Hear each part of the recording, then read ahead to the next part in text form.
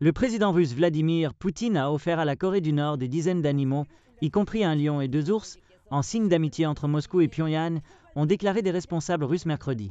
Les deux pays ont approfondi leurs liens politiques, militaires et culturels au milieu de l'offensive de la Russie contre l'Ukraine, Poutine et le dirigeant nord-coréen Kim Jong-un affirmant continuellement leur amitié personnelle. Un lion africain, deux ours bruns, 25 faisans de différentes espèces, 40 canards et d'autres animaux ont été transférés du zoo de Moscou au zoo de Pyongyang, a déclaré le ministère russe des Ressources naturelles dans un post sur Telegram.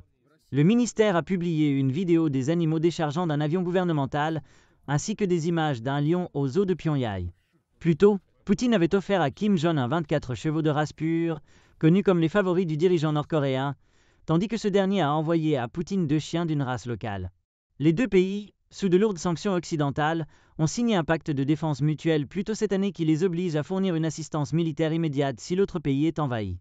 Les capitales occidentales, ainsi que l'Ukraine et la Corée du Sud, affirment que la Corée du Nord a récemment déployé plus de 10 000 de ses troupes en Russie pour s'engager dans des combats contre les forces de Kiev.